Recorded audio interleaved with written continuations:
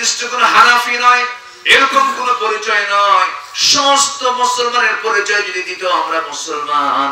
সমস্ত ভেদাভেদ আজকে সমাজে দূর হয়ে যেত।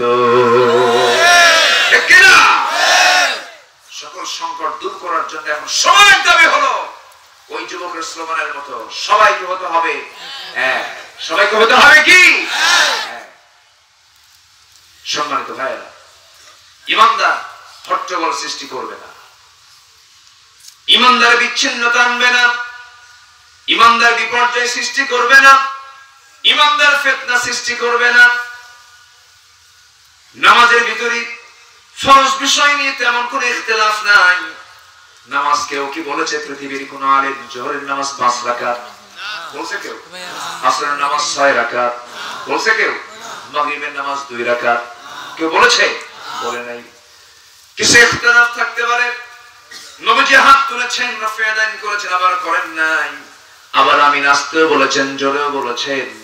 নাবিতে হাত বেঁধেছেন, বুকেতে হাত বেঁধেছেন। তিনি করেছেন, এগুলো ইসলামের সৌন্দর্য, এগুলো ইসলামের কি? সৌন্দর্য। এগুলো নিয়ে গন্ডগোল করা যাবে না।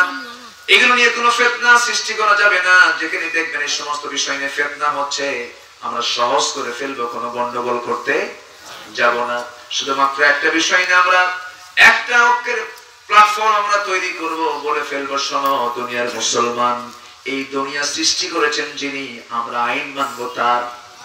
ঠিক কিনা যিনি আইন যিনি সৃষ্টি করেছেন তারই আইন আমাকে আপনাকে মানতে হবে অর্থাৎ হুকুম তো সৃষ্টি যার হবে হুকুম তো তার হবে।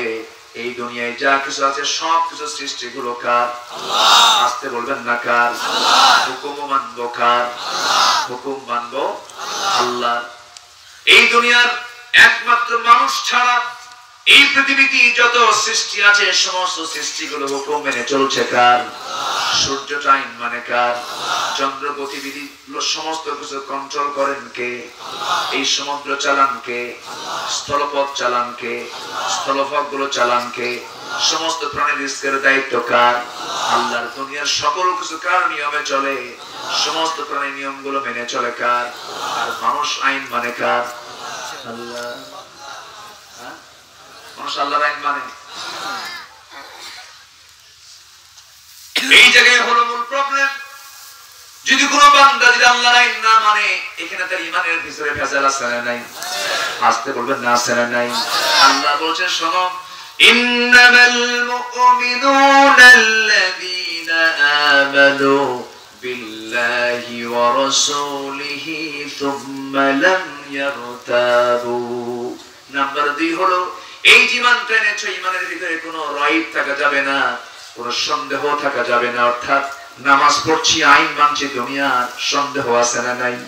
আছে। আল্লাহ ক্লিয়ার করে দিচ্ছেন, কোন রাইব নেই, কোন সন্দেহ নিয়ে ইমানদার তোমার হওয়া যাবে না, নিঃসংকোচে, বিনা বিনা নিঃসংকোচে কোন প্রকার সন্দেহ করা যাবে না সংশয় করা যাবে না। নিঃসংকোচই বলে ফেলতে হবে। এই পৃথিবীতে আল্লাহ আমাকে সৃষ্টি করেছেন। বুক উঁচু করে বলব দুনিয়ার কোন আইনদাতাকে মানবো না বিধানদাতাকে মানবো না। একমাত্র সক- সকল ক্ষেত্রে বিধানদাতা আইনদাতা মেনে চলবো কাকে? আসতে বলবেন না কাকে? আল্লাহকে আল্লাহ এই জিনিসটা স্পষ্ট করে দিচ্ছেন।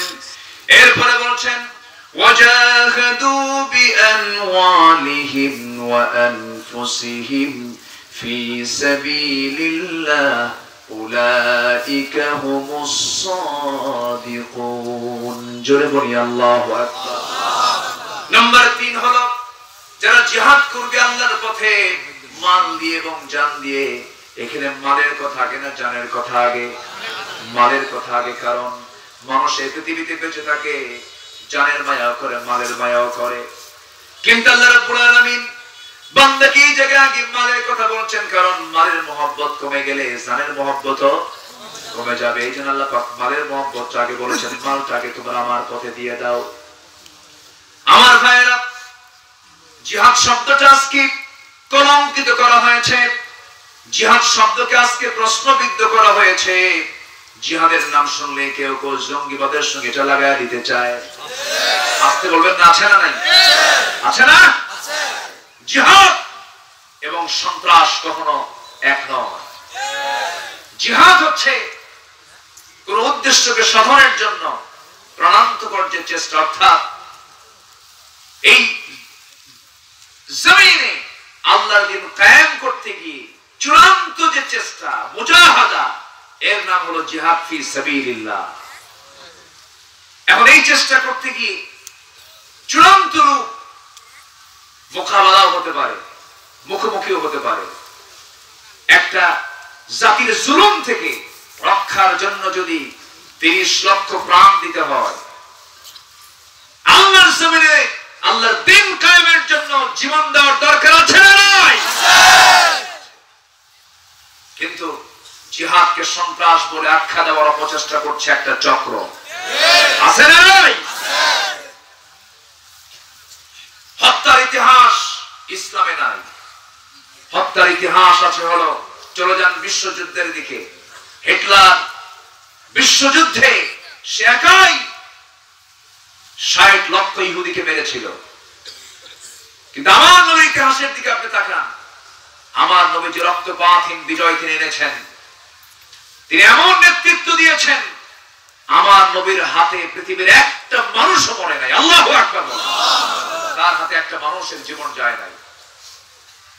তিনি সেই সময় অস্ত্র ধরেছেন, যে সময় অস্ত্র হাতে নিয়ে বাতিল গোষ্ঠী যখন তাকে আক্রমণ করেছে, তিনি শুধু প্রতিহত করেছেন। ইসলাম ওপেনসিভ নয়।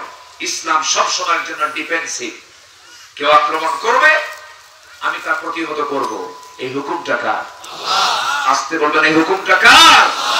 আল্লাহ পাক আবার আমার দেশে কিছু মুফতি বের হইছে বলে যে জিহাদ রসুলের যুগে হয়ে গেছে আর নতুন করে কোনো জিহাদ নাই। ও টাটকা মোনাফে ও কি মোনাফে টাটকা মোনাফে জিহাদ ছিল আছে থাকবে।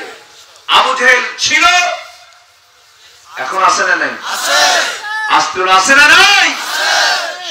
তার আওলাদ থাকবে কিনা? অতএব সংগ্রাম ছিল আছে আমরা থাকব কার পথে? আমরা থাকব কার পথে। আমাকে আপনাকে টিকে থাকতে হবে মুসলমান। আমার নবীজি যুদ্ধের ময়দানে দাঁড়িয়ে এক সাহাবিকে সামনে রেখে বলছেন সাহাবি আমি কি তোমাকে এমন একটি জান্নাতের বর্ণনা বলব? যে কাজটি করলে পরে আল্লাহ পাক সেই বান্দাকে সেই জান্নাতটা দিবেন। সেই সাহাবী বলছেন ইয়া রাসূলুল্লাহি, কি আমলটা সে আমলটা আমাকে শেখায় দেন, রাসূল বললেন, শোনো, এই যে জিহাদের ডাক এসেছে, এই জিহাদে যদি কেউ ঝাঁপিয়ে পড়তে পারে, আল্লাহ তাকে এমন একটা জান্নাত দিবেন যে জান্নাতের প্রশস্ততা হলো আসমান, জমিন, বরাবর। ওই সময় ওই সাহাবী একটা খেজুর খাচ্ছিলেন, খেজুরের অর্ধেকটা খেয়েছেন। আর অর্ধেকটা এখনও তার খাওয়া হয় নাই। সঙ্গে সঙ্গে করলেন কি? অর্ধেক খেজুরটা না খেয়ে ফেলে দিলেন। রসুল বলছেন, ও সাহাবি, অর্ধেক খেজুর ফেলে দিলা কেন? সাহাবি বলছেন, ইয়া রাসূলুল্লাহি, অর্ধেক খেজুর খেতে তো সময় লেগে যাবে। আমি এতটুকু সময় আর নষ্ট করতে চাই না। আমি যেতে চাই, ওই যাদের মধ্যে চাপিয়ে পড়ে আল্লাহর জান্নাতে যেতে চাই। যেরকম সুবহানাল্লাহ। আমার নবীজি শুধু ডাক দিয়েছেন আল্লাহর দিন জমিনে এমনি বিজয় আমার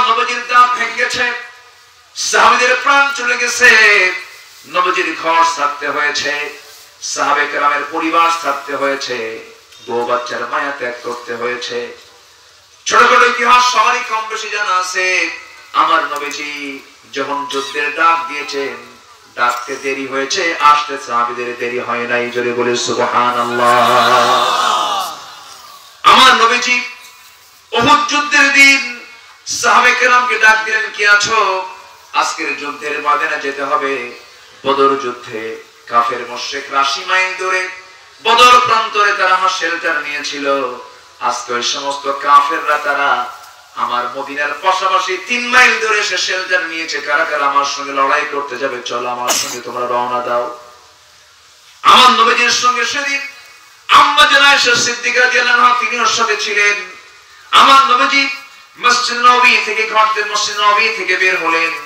হুজরা থেকে বের হলেন সাহাবে কেরামকে নিয়ে বের হয়েছেন। এক হাজার সাহাবি কয় হাজার বলেন? এক হাজার সাহাবি, এক হাজার সাহাবি নিয়ে রসুল বের হলেন। বের হওয়ার পর মাস পথে এসে মুনাফিকরা নবীর সামনে দাঁড়িয়ে বলছে, ইয়া রাসূলুল্লাহি, আপনি কি জানেন কাফেরদের সৈন্য সংখ্যা কত? কুরাইশদের সৈন্য সংখ্যা কত? রাসূল বললেন কুরাইশদের সৈন্য সংখ্যা কত? এটা আমাদের দেখার বিষয় নয়। বিজয়ের বিজয় দিবেন কে? বিজয়টা দিবেন কে? সংগ্রাম করবে মুসলমান বিজয়টা দিবেন আল্লাহ। তাআলা।